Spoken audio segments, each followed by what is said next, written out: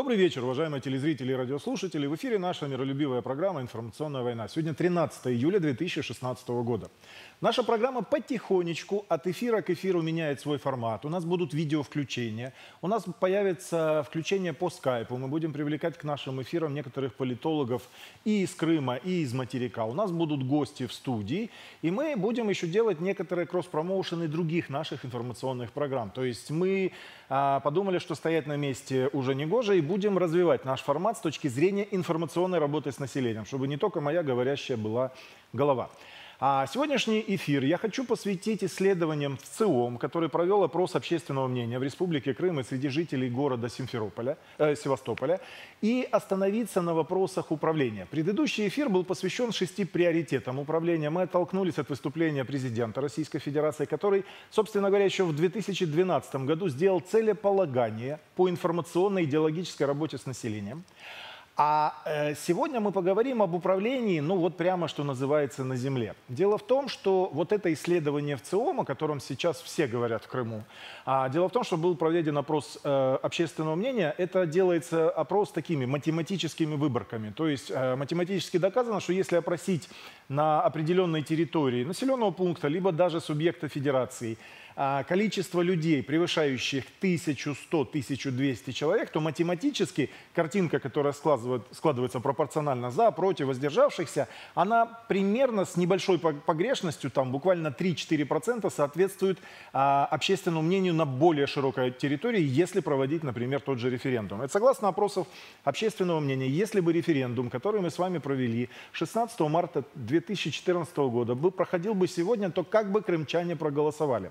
Это, кстати, очень важная обратная связь с объектом управления, если понимать, что Республика Крым и город Севастополь – это объекты управления, на которых живут люди, у которых есть свои ожидания, есть свои экономические интересы, есть свои родовые, э, народные интересы, имеется в виду там э, речь идет о национальной культуре, о сохранении самобытности, идентичности и так далее, и так далее, то это исследование показало, что сегодня 96%, практически копейка в копейку, как и два с половиной года тому назад, а народ проголосовал бы точно так же. Это несмотря на то, что экономическая ситуация непростая, причем она непростая на территории всей России, а Крым у нас, не будем забывать, находится еще и под санкциями.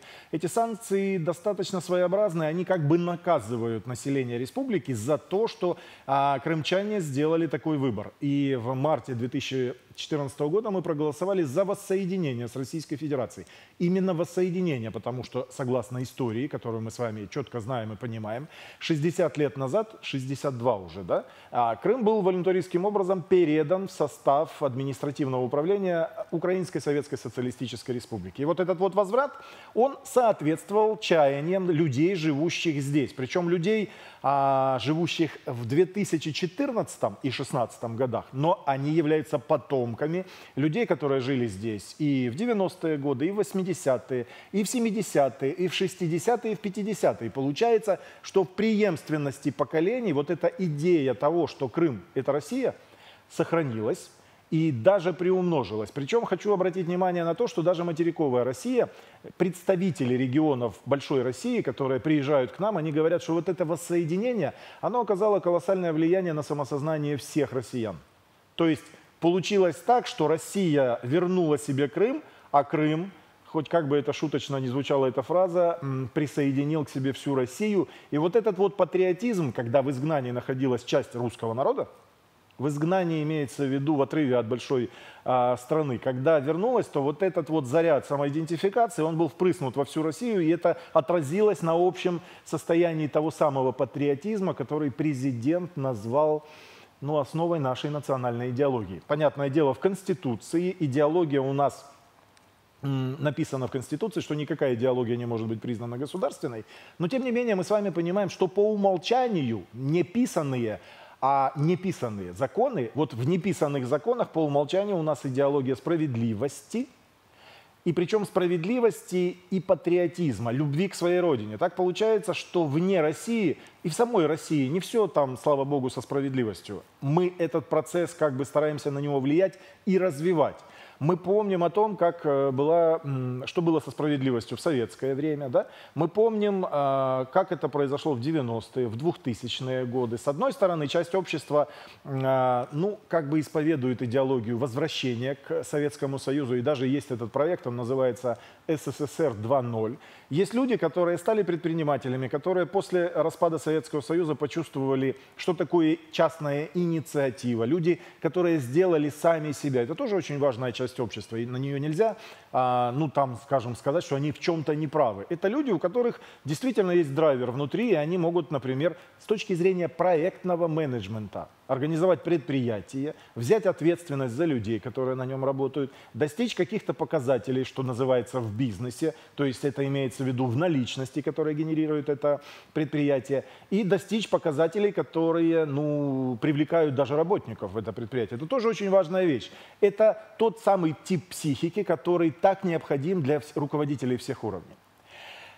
А, и вот это исследование в ЦИОМ, которое показало, что наше э, население Республики Крым и города Севастополя ни на секунду, ни на минуту, несмотря на все трудности, не изменило своего отношения к воссоединению.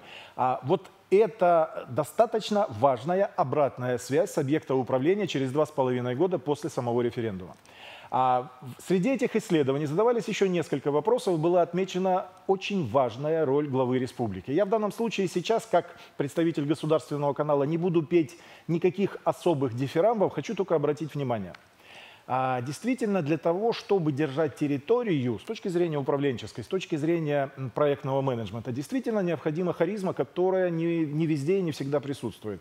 У главы республики Крым эта харизма есть, и отмечают это все респонденты, причем жители Крыма и жители материка. Это чрезвычайно важная вещь, и отдельные комментаторы, представители в ЦИОМ говорили, что в Крыму, собственно говоря, и нет по значимости фигуры такого уровня, которая бы, например, а многие говорят, что вот раз попал в список «Единой России» избирательный, то речь идет о выборах там, в Государственную Думу. Ничего подобного. Речь идет о политических там аспектах, но фигуры соизмеримой с главой, и это отмечают все респонденты, найти пока что невозможно. То есть вот этот вот переходный период, когда ситуация революционная, когда элиты построились и действительно за один месяц, это, кстати, управленческое чудо, не везде и не всегда элиты вот так вот единогласно э, проводят организационное мероприятие такого уровня. И мы с вами пришли в Россию. Это во многом, это колоссальный управленческий труд, которого не видно, который считается, ну как бы производится по умолчанию. Это заслуга управленцев, которые сегодня управляют Республикой Крым в том числе. Это очень важный нюанс, который я хочу отметить.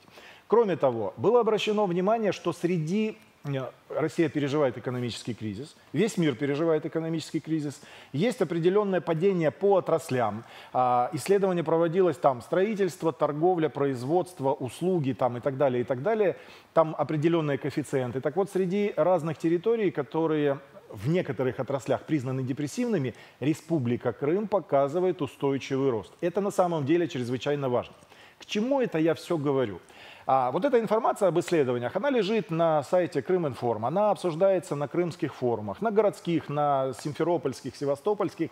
Мнения высказываются разные, но тем не менее хочу обратить внимание на то, что а, даже несмотря на то, что у нас есть действительно есть управленческие проблемы, очень многие люди внутри республики, есть люди, которые из э, материка, критикуют отдельные управленческие там, назначения, кадры и решения, которые происходят на местах. Тем не менее, наша республика показывает достаточно высокую слаженность, которая заметна на фоне других субъектов федерации. Это важная вещь. То есть для того, чтобы способствовать устойчивости управления всего корабля под названием Российская Федерация и Республики Крым как составная часть Российской Федерации, нужно понимать, как устроен этот механизм.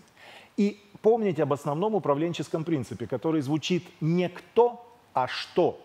То есть э, очень многие люди на самом деле, вот когда обсуждают управленческие решения, обсуждают те или иные вопросы, связанные с тем, как управляются там транспорт, мусор, там, э, объездные дороги, э, асфальтирование дорог и так далее, и так далее, они исходят из того, что вот там некоторые люди нам не нравятся, давайте поставим других. При этом совершенно забывая о том, что управлять процессами общественными могут не те, кто что-то слышал, и что-то знает, а те, кто умеет, кто имеет наработанную практику решения таких управленческих проектных задач. И в данном случае, даже несмотря на то, что идет критика там, что партия регионов там и так далее, и так далее, я в данном случае никого не выгораживаю. Я в данном случае, как и всегда в нашей программе, я голосую за устойчивость управления. Для того, чтобы, если даже какие-то кадровые изменения производить, то это делается так тихо и так незаметно, что принцип хорошего управления, его не видно, был бы воплощен в жизнь. То есть не нужно делать больших потрясений общества при смене некоторых кадровых там позиций. Не нужно напрягать общество для того, чтобы обсуждать те или иные вопросы жизни. Нужно иметь четкую обратную связь с землей, нужно оповещать а, объект управления, население, которое живет на этой территории. И нужно эту обратную связь применять в качестве ну, выработки управленческих решений для того, чтобы достаточно оперативно решать все эти самые пресловутые вопросы. О мусоре, о транспорте, о дорогах, об элек... ну, о коммуналке и так далее, и так далее, и так далее. И вот если этот механизм выстроится, то тогда мы с вами действительно получим устойчивость управления субъекта федерации, которая имеет стратегическое значение для всей России, не только с точки зрения идеологии, а еще и с точки зрения того, что мы мостик для всего Причерноморья, мы мост, соединяющий Украину и Россию.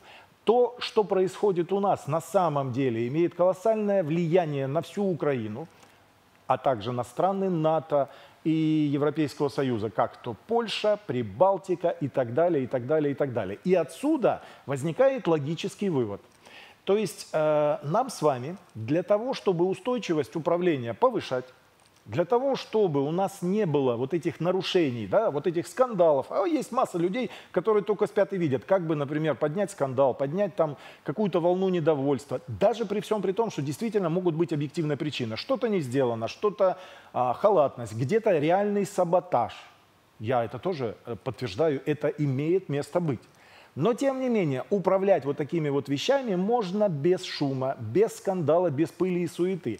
Это и есть хорошее управление. И вот здесь вывод, который я хочу подвести всех телезрителей и радиослушателей, заключается в том, что нужно повышать общую управленческую культуру не только управленцев, но и всего населения. То есть для того, чтобы обратная связь была эффективная. Нужно, чтобы люди на земле, даже те, которые согласно закону об обращениях граждан, пишут а, жалобы, обращения граждан в те или иные государственные инстанции, чтобы они понимали, как это письмо написать. А это письмо надо написать не просто «жалоба, сделайте хоть что-нибудь». То есть представляете себе текст. Вот у меня там, например, там что-то происходит с водой. А вот э, сделайте так, чтобы вода была. И в принципе человек на земле, он имеет право на такую формулировку. Но Возникает еще ситуация, что человек, который живет на этой земле, он как творец, как проектный менеджер, он может, например, предвидеть определенные способы решения. Он может посчитать финансирование, он может понять, как это можно сделать и такие вещи нужно предлагать. То есть я хочу сказать, что любое обращение гражданина по тому или иному поводу, в котором просто есть жалоба и нет предложений, рассматривается на порядок менее эффективно. То есть оно не вызывает необходимой реакции, чем письмо, в котором расписана тема, расписана цель, что вы хотите.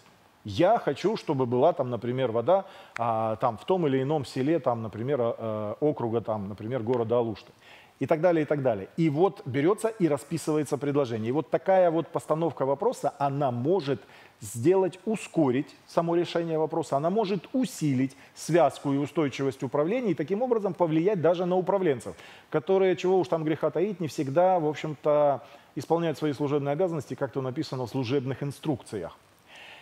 И вот здесь мы с вами подходим вплотную к тому, что повышать качество управления нужно на общеобразовательном уровне. То есть, когда в вузах проходят какие-то предметы, связанные с проектным менеджментом, когда учат менеджеров, даже менеджеров, например, по туризму, менеджер, менеджеров по а, ресторанному делу, менеджеров для других отраслей экономики, понятное дело, что любой менеджер – это управленец. Ну, по-русски это управленец. То есть это человек, который входит в коллектив, у которого сразу образуется некий аппарат подчиненных, которые, например, могут исполнять протокольные решения. Почему протокольные? Потому что их нужно фиксировать на бумаге. Безусловно, могут быть и устные решения, и они тоже исполняются. Но протокольные решения упорядочивают документооборот внутри аппарата. Так вот, вся механика и методика не только аппаратной работы с точки зрения документооборота, с точки зрения проведения совещаний, с точки зрения проведения индивидуальных переговоров, даже с точки зрения приема на работу и прощания с людьми, с которыми вам вот кровь из носа нужно расстаться, и причем расстаться без последствий. Вот этот объем знаний, он на самом деле не преподается ни в вузах, ни в школе. И получается ситуация, что молодые назначенцы, которые приходят, например, на ту или иную должность, государственную, муниципальную да, госу- э, и общественную, выборную, да, они начинают заниматься вот этим кустарным э, менеджментом. Кустарный менеджмент от правильного, менеджмент от правильного отличается в тем, что все происходит по наитию. То есть есть основная цель, ради чего на эту должность поставлен, ради чего там кожаное кресло подпирает спину. Иногда в, этот, в эти моменты люди считают, что жизнь уже состоялась и можно расслабиться, и забывают совершенно о том, что вот эта цель, ну, например, в некоторых предприятиях основная цель – это генерирование наличности, это производство материальных средств, на, в результате там, производства, оказания услуг, совершения каких-то действий и так далее, и так далее, а, координации действий, и это генерирование наличности. Так вот, эта цель, она основная, но она не единственная. Кроме этой цели еще существует трудовое законодательство, еще существует трудовое право, да? еще существует взаимодействие с контролирующими органами, есть еще целый а, кодекс трудовой, хозяйственный и так далее, и так далее. И вот если все вот эти задачи взять и сформулировать, да еще и разложить, как себя вести в новом коллективе, да как еще выстраивать отношения, например, с подчиненными, которые до прихода нового назначенца осуществляли эту деятельность и, в общем-то, знают все ходы и выходы, и реально могут подставить в случае, если человек ведет себя не тактично, неграмотно, хамски, а это тоже очень большая проблема. Получается, что вот этот комплекс знаний, который в вузах не преподают, в школах не преподают. Это преподается только на уровне, знаете, наставник а, и куратор, который поставил человека, и вот э, в частном порядке вот ведет его, и они совместно в связке, вот в таком тандеме, они решают управленческие задачи. Тогда происходит натаскивание. Так происходит клановое воспитание. А с точки зрения устойчивости государственного управления, похоже, что пора вернуться к идее, которая э, практиковалась и частично в Советском Союзе, и после Союза, она называется «Школа кадрового резерва» кадровый резерв, вот это скамейка запасных, причем запасных, которые могут в случае необходимости закрыть управленческую дыру, образовавшуюся в результате деятельности любого государственного, муниципального или выборного органа, да, вот эта скамейка запасных, ее нужно наполнять. Она на самом деле достаточно пустая. И вот сегодня я хочу проговорить, а давайте поговорим о компетенциях. Чему так можно научить в такой школе кадрового резерва государственного управления? Причем, чтобы эти знания преподавались, они, нельзя сказать, что они там под грифом ДСП. Нет, это открытые знания. Но они действительно являются управленческими и в чем-то царскими. И о них на самом деле люди, живущие на Земле, до конца не знают и не понимают механики. Особенно если учесть, что люди по привычке, по инерции считают, что Российская Федерация в нынешнем своем состоянии, она является, ну, как бы союзом, Советским Союзом. Это значит, что люди а, государственных органов управления имеют безоговорочную власть над любыми процессами на этой территории. Там вода, коммуналка там, и так далее, и так далее. А на самом деле законодательная база Российской Федерации не, э, не очень этому соответствует и существует определенный юридический коридор возможностей. Не всегда административные управленцы могут решить многие вопросы там с вечера на утро. Некоторые вопросы выведены в зону судебного разбирательства, особенно вопросы там землепользования и так далее, и так далее. И это реалии, и людям это нужно объяснять. То есть а, кроме того, что знать управленцу, как поступить в той или иной ситуации – как выстроить отношения в аппарате со своими подчиненными, получается, возникает настойчивая необходимость постоянного взаимодействия с людьми на земле. То есть Внутри аппарата это внутренний пиар, есть такой термин, внутренний public relations, это взаимоотношения с людьми, внутренние отношения внутри аппарата, а есть еще внешние отношения с населением, которое живет на этой территории. Причем речь идет не только об управленцах государственных органов, не только о выборных должностях, речь идет о предприятиях, которые стоят на той или иной территории, а предприятие у нас частной формы собственности, а частная форма собственности – это приватизация прибыли и национализация убытков или национализация издержек. То есть, соответственно, на этой территории а, предприятия в той или иной степени влияют на состояние мусора, на его мусоропоток, на то, что какое напряжение в электрической сети, на водоканал, на сети и так далее, и так далее. То есть взаимодействие среды обитания и людей, живущих в этой среде, и любого предприятия, занимающегося генерированием наличности, это сложный механизм, который нужно управить. И получается, что наши люди э, советской закалки, вот той самой закалки, когда считалось, что первый секретарь горкома партии – это всевластный царь на этой территории, он может одним своим распоряжением или по телефонному звонку решить любой вопрос, и вот этот шаблон, он на самом деле давлеет над людьми. Люди считают, что им достаточно написать жалобу, тем более анонимную жалобу, и по звонку вопрос решится, и на утро уже все будет хорошо. Это э, в нынешних реалиях далеко не так.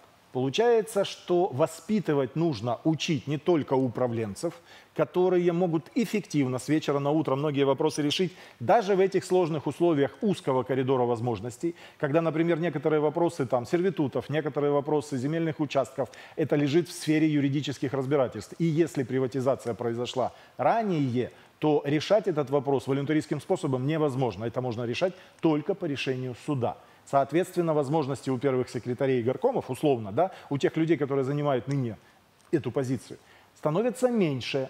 Это не значит, что все, мир остановился. Это значит, что нужно научить объект управления правильным методом воздействия на органы управления. И нужно научить управленцев, как взаимодействовать. И вот здесь на самом деле вот эта управленческая школа, она нужна как воздух. Мне даже кажется, и мы вот обсуждаем в кулуарах телерадиокомпании «Крым» в нашей редакции, что нужно это делать не только в, на занятиях групп. Ну, например, формируются там группы по 5-10 человек.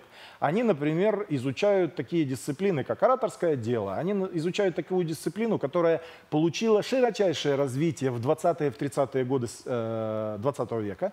Это когда Сталин ввел так называемый документооборот. То есть, когда одним документом можно решить огромное количество задач и при этом избежать огромного количества совещаний. Вот документооборот – а, публичное выступление, проведение совещаний перед аудиторией. Причем а, публичные совещания не касаются там в каждом разделе отдельного конкретного исполнителя, но всегда это происходит на фоне всех остальных подчиненных, которые соразмеряют со своим фронтом работ. Ведение переговоров, как договариваться тет-а-тет. -тет. То есть это тоже очень важная часть. Дело в том, что публичные политики, они очень сильно привыкают, например, говорить на публике, соразмеряя свою речь с третьим лицом. Ну, это как на ток-шоу люди, сидящие, например, в аудитории. А в бизнесе, например, люди привыкли к конкретике на раз, два, три. И совершенно не беспокоится тема, а что подумает третий. Как правило, третьего-то и нет. То есть деньги любят тишину, и от этого другой тип психики. И получается, что управленец, который работает на устойчивость управления Российской Федерацией, который работает на устойчивость управления Республики Крым, должен уметь и понимать, и переключать свою психику с ведения переговоров, с э, проведением совещаний, с написанием любого типа документов, писем, обращений, а, пресс-релизов. То есть не только девочка, которая обязана писать пресс-релизы на сайт, но еще и первое лицо, сам управленец, он может и проконтролировать, и в случае необходимости и сам набросать, там, например, тезис на этот пресс-релиз, который может повлиять на управляемость территории. Получается, что управленец должен, помимо всего этого прочего, владеть интернетом как э, отче наш. То есть должна быть почта, должны быть э, социальные сети. Кстати, вот возник вопрос, а должны ли управленцы иметь блоги в социальных сетях? И я вам скажу, что здесь работает управленческий принцип, что если вас нет в информационном пространстве, а ваши решения пересказывают подчиненные, то вас нет. Подчиненные могут сыграть, э, ну, прислуга, да, или там двор играет короля таким образом, что если вас нет, то это пространство заполняется чем угодно, только не вами. Понятное дело, что вести блоги нужно, вести блоги необходимо по делу. И как вести блоги, как вести вот это вот общение циркулярно-безадресная. Это тоже отдельная управленческая дисциплина, которой нужно научить. И получается, что скорость прохождения информации через подготовленного управленца, который будет какое-то время сидеть на скамейке запасных, но который в случае необходимости, в случае всевозможных ситуаций может занять любое управленческое место, решить любую управленческую задачу, причем командным способом. Не, знаете, там я и все а человек, который понимает, в какую систему он встроен, человек командный, человек, понимающий, как себя вести, вот эти задачи, вот этой школы а, кадрового резерва государственного управления, вот эта тема возникла буквально после обсуждения вот этих вот исследований в ЦИОМ, с которых я начал сегодняшний эфир. Вот эта стратегическая цель, она, в общем-то, висит в воздухе, она обсуждается всеми управленцами, и э, ваши пожелания, особенно людей старой закалки, особенно людей, которые прошли высшие партийные школы, особенно тех людей, которые воспитывали молодое поколение в 60-е, в 70-е, 80-е годы, особенно если у вас есть монографии, труды, если у вас есть некоторые предложения, то давайте эти предложения обсуждать.